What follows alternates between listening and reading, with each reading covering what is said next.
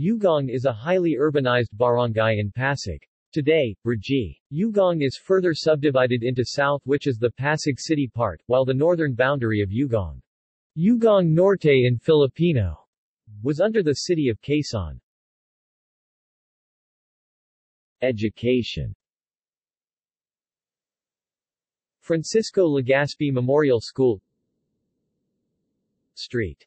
Paul College Pasig Attractions.